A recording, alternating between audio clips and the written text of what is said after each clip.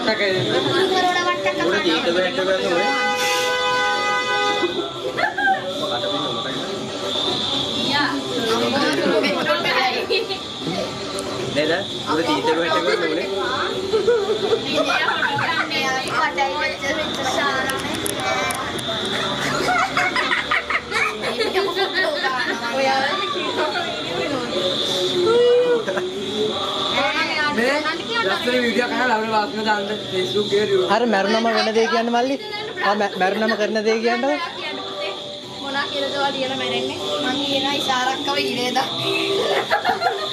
නෑ නෑ මං කියනවා මගේ දේපල සියලු ඉෂාරක්ක ලියනවා. කෙල්ලන් දීගේ මගේ නමට තියෙන්නේ. කෙලින්. නම් මගේ නමට ලියනවා. මගේ නමට